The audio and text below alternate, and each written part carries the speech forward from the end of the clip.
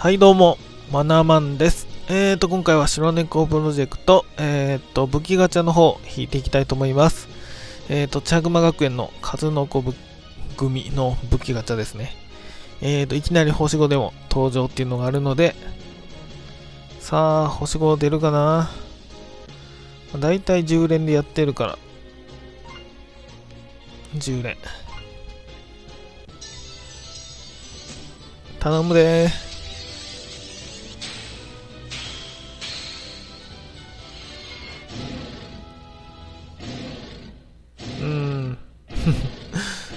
うーん。あれマジか。おー、来たしかもいきなり星5で来た。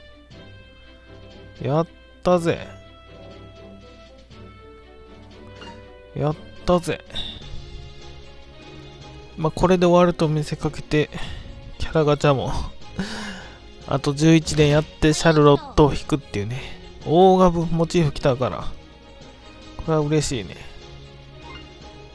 どうしようかな。11連やるか。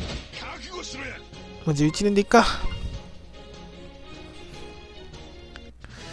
いきなり星5も来たし。もうこれでシャルロット引いたらもう完璧やねんけど。まあ、武器は モチーフないけど、交換するにもな、メモリアルソードがなかった気がするんだよ。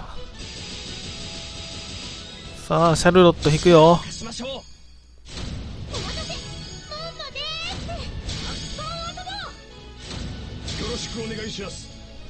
来ない。いや、もう来ない来ないって言ってて、最後に出るからね。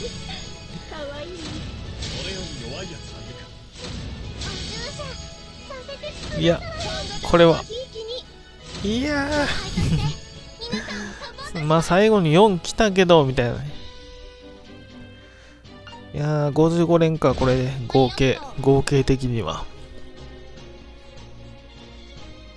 まあここで終わっとくしかないな。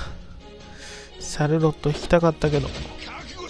まあオーガのモチーフ武器も手に入れたんで、まあよしとしましょう。えー、っと、今回の動画はここまでとなります。ご視聴ありがとうございました。